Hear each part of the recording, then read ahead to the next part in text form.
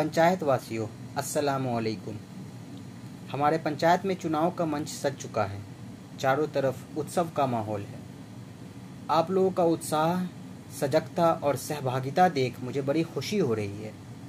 आपका यही उत्साह और सजगता ही चुनाव को निष्पक्ष और कामयाब बनाती है। मैं अपनी बात शुरू करने से पहले सभी उम्मीदवारों को शुभकामनाएँ देता हूँ। वह चुनाव जीते और सच्चे मन से समाज की सेवा का बीरा उठाए। इस चुनाव के मौके पर मैं आप मतदाताओं को आपकी ताकत बताना चाहता हूँ और यह भी बताना चाहता हूँ कि आप अपने उम्मीदवार का चुनाव कैसे करें।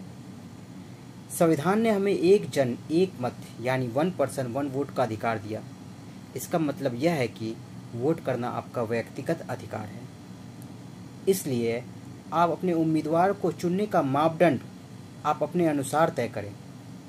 अपने समझबूझ, अपने विचार और तजुर्बे का प्रयोग करें।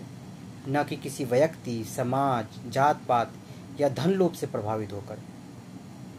वर्तमान में देश के माहौल से आप अंदाज़ा लगा सकते हैं कि किस प्रकार हमने अपने राजनेता का चुनाव धर्म के आधार पर किया।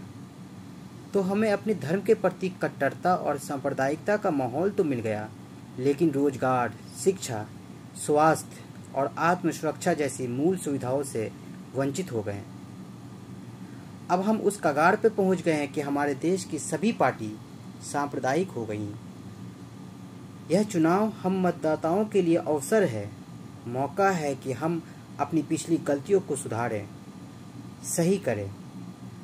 हम सबको अपने उम्मीदवार का चुनाव करने से पहले सही मुद्दों का चुनाव करना होगा, हमें निष्पक्ष होना होगा। सजग होना होगा, खुद के प्रति ईमानदार होना होगा।